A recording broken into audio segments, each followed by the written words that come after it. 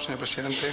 Muchas gracias. Nosotros estamos, vamos a votar a favor de este observatorio porque hemos participado eh, en, la elaboración del mismo.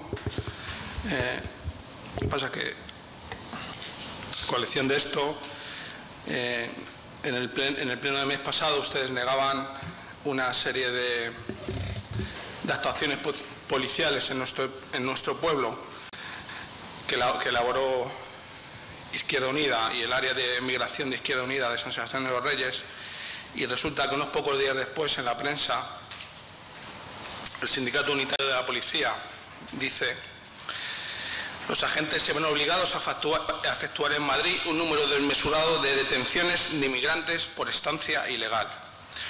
El número de identificaciones que se producen en España cada año son millones y solo unas pocas miles están justificadas en aplicación a la doctrina del Tribunal Supremo. La, delegada del Gobierno, la señora Cifuentes, ha declarado que vigilará muy de cerca que no se realicen redadas con criterios étnicos. Ya introduce la delegada del Gobierno el término redadas, nosotros en nuestra moción lo denominamos identificaciones discriminadas.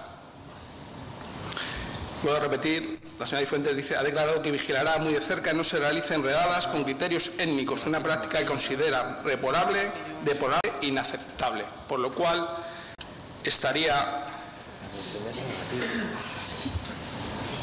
reconociendo que existen este tipo de redadas.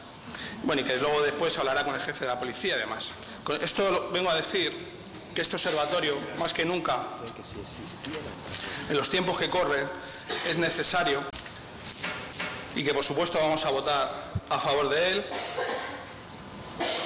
Y le agradezco a la, concejala que nos haya eh, dado eh, oportunidad de, de hacer las aportaciones y que las haya contemplado en el mismo. Muchas gracias.